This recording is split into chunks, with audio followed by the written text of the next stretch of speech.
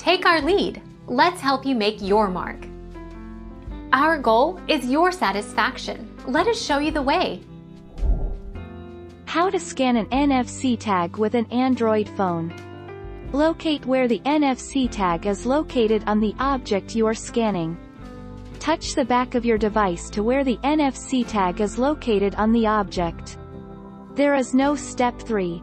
Your device should open the experience after reading the NFC tag.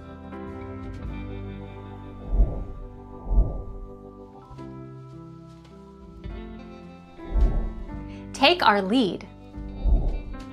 Only the iPhone 7, iPhone 8 and iPhone 10 supports reading NFC tags. The iPhone 6 and earlier does not support reading NFC tags. An app is required to use the NFC SDK on iOS.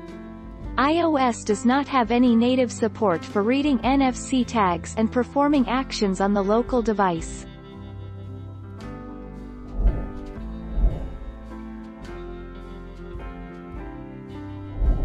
Take our lead. Let's help you make your mark.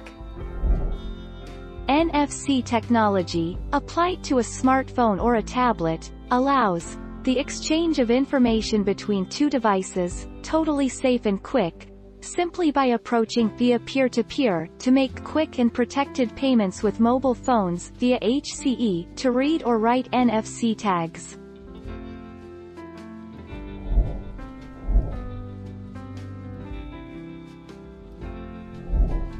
Take our lead.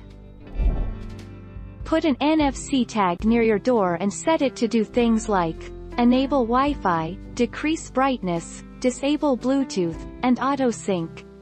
Using NFC Task Launcher, you can program the tag to switch, so that when you exit your house and tap the tag for the second time, it changes those settings like disabling Wi-Fi.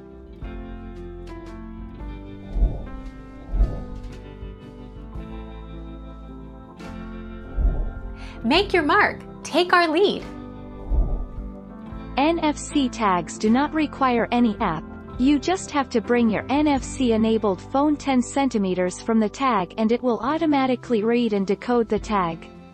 If nothing happens, make sure your smartphone is compatible with NFC and that the NFC feature is activated.